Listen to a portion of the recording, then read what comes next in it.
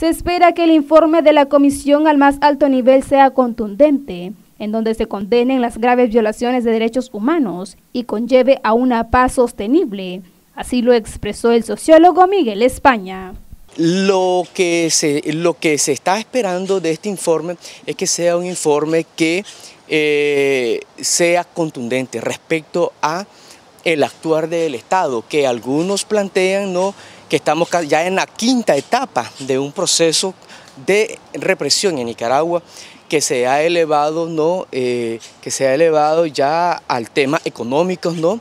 y, a, y a temas de bueno, darle continuidad al tema de no permitir la libre expresión, la movilización, etcétera, que son derechos constitucionales según los artículos 50 y 51 de nuestra constitución política.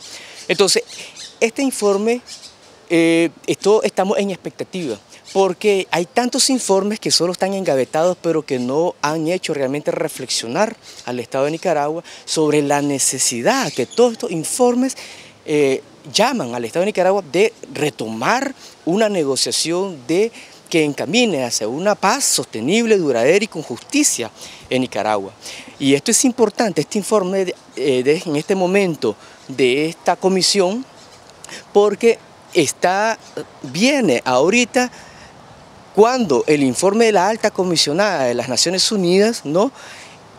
ha enviado, emitido el informe sobre la situación de derechos humanos en Nicaragua, el derecho de la eh, eh, comunicado de la ONU respecto a la situación de Nicaragua que es contundente y hace un llamado al Estado de Nicaragua a retomar los acuerdos que se llevaron con la Alianza Cívica y a, digamos, eh, y, a desarticular grupos paraestatales, liberar a los presos políticos y retomar la negociación. Esto es el informe de las Naciones Unidas, pero que ahora viene a ser reforzado con el informe de la OEA de esta alta comisión.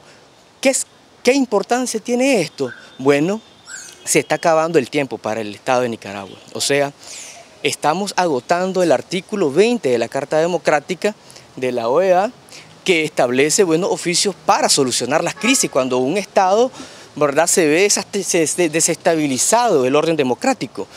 Y ya estos son eh, los buenos oficios que está llamado a dar la OEA para volver la estabilidad democrática en Nicaragua y si no es así, entonces estaría en considerar la aplicación del artículo 21 de la Carta Democrática que habla de la suspensión.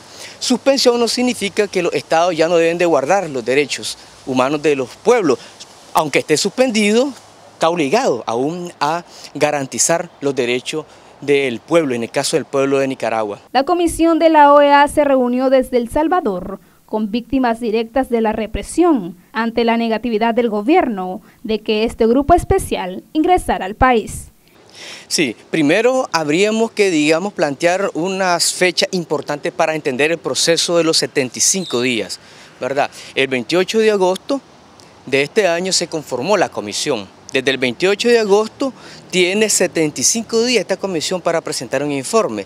Los días, eh, el día final para presentar el informe este 11 de noviembre. O sea, tiene 10 días para ya finiquitar el informe y presentarlo eh, ante el plenario de la OEA, esta comisión, esta alta comisión ¿no? que conformó eh, la OEA para Nicaragua. Eso es lo primero entender también de que eh, no es que no han dado seguimiento a la situación de Nicaragua a pesar de eh, que el Estado de Nicaragua le negó el ingreso, ¿no?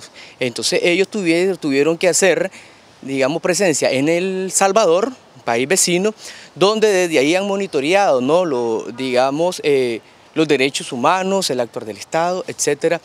En Nicaragua, entrevistando a víctimas, eh, recabando información y teniendo también algún tipo de comunicación con eh, el Estado de Nicaragua. Esto es importante entenderlo porque no es un informe que se hace desde un escritorio elucubrando, no, sino que es un informe realmente en base a testimonios directos de víctimas directas e indirectas y en base a la recabación de información de primera mano y de informes internacionales, del GIEI, del MECENI, etc. Este 11 de noviembre se acaban los 75 días para la comisión al más alto nivel.